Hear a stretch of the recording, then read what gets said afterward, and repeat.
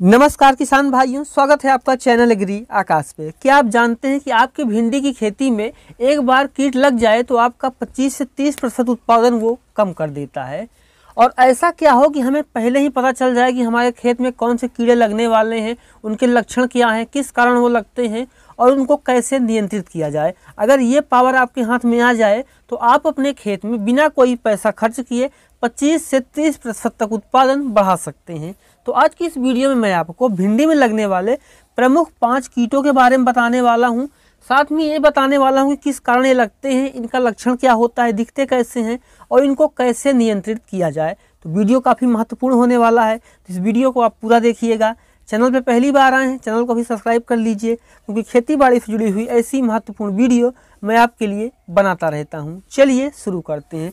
किसान भाई जो हमारा सबसे पहला कीट है, वो है फल छेदक सुंडी। इसको साख और फल का कीट भी कहा जाता है।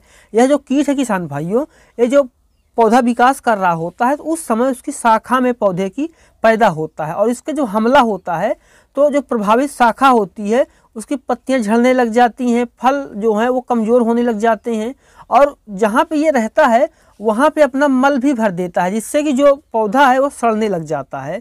तो अगर आपको इसका हमला अपने खेत में दिख रहा है और शुरू में एक दो पौधे पे दिख रहा है तो आपको क्या करना चाहिए? सबसे पहले आपको उस शाखा को, उस पौधे को नष्ट कर देना चाहिए। अगर एक दो पौधे पे है तो। अगर आपके खेत में ज़्यादा फैल चुका है ये तो किसान भाई आपको लेके आना है स्पाइनोसाइड एक एम लेना है और उसके अलावा किसान भाई आपको क्लोरट्री नीली प्रोल लेना है, अठारह दशमलव पाँच परसेंट वाला। इसको आपको सात एम लेना है, पंद्रह लीटर पानी में दोनों को मिला करके स्प्रे करना है। और अगर आपको ये नहीं मिल पाता किसान भाइयों तो उस स्थिति में आप फलू बैंडी अमाइड पचास एमएल ले सकते हैं और इसको दो फ़िल्टर पानी में घोल करके अपनी फ़सल में डाल सकते हैं। और जो दूसरा सबसे ज़्यादा परेशान करता है कीट भिंडी की फ़सल में, वो है ब्लिस्टर बीटल। यह पौधे का जो मुलायम भाग होते हैं, जहाँ से मुलायम पत्तियाँ निकल रही होती हैं, मुलायम फूल होते हैं, या फिर जहाँ से मुलायम फल भी होते हैं, वहाँ पे ये उनको खा लेता है। जो बिस्टल बीटल कीट होता है, जो आपको स्क्रीन पे दिखाई दे रहा है ये बहुत ज़्यादा नुकसान करता है। मुलायम, फल, फूल, पत्ती सब कुछ ये खा लेता है। यदि इसका हमला आपको खेत में दिखाई दे रहा है तो सबसे पहले आपको बड़े जो कीड़े हैं, इनको इकट्ठा कर लेना है और इनको आपको जला देना है या फिर आप इनको मिट्टी में दबा सकते हैं।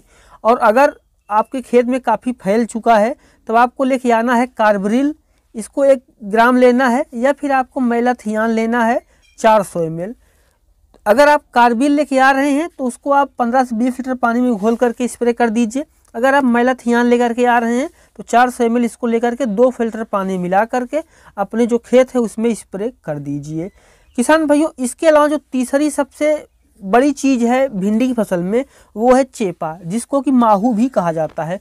चाहे इसको हम चेपा कहें, चाहे इसको माहू कहें यह भिंडी की फ़सल में बहुत ज़्यादा नुकसान करता है।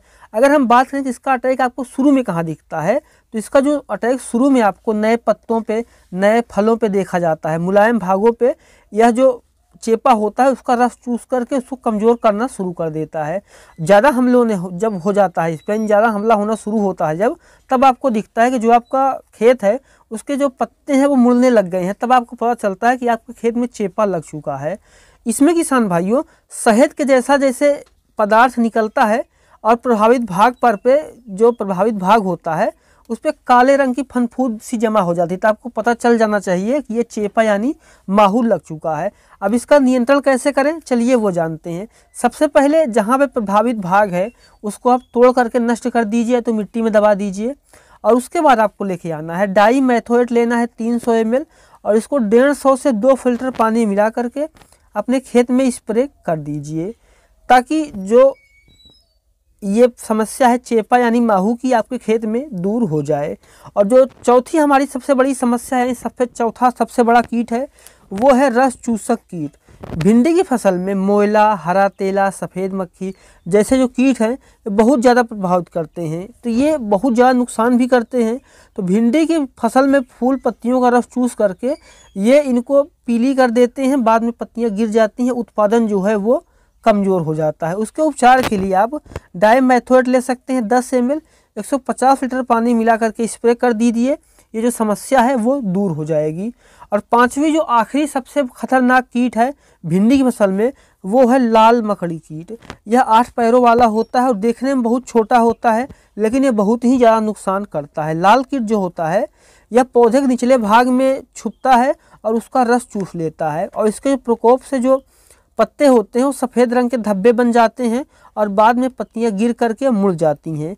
अगर इसका हमला आपको खेत में दिखाई दे रहा है तो इसके लिए किसान भाइयों, आपको लेके आना है प्रोपोजाइल 10 ईसी को। ज़रूरत के हिसाब से आपको जिस तरीके से खेत में अटैक हुआ है, उसी हिसाब से आप उसको खेत में स्प्रे कर दीजिए। लाल मकड़ी की जो समस्या है, वो दूर हो जाएगी। तो किसान भाइयों, ये थे भिंडी में लगने वाले प्रमुख पाँच कीट।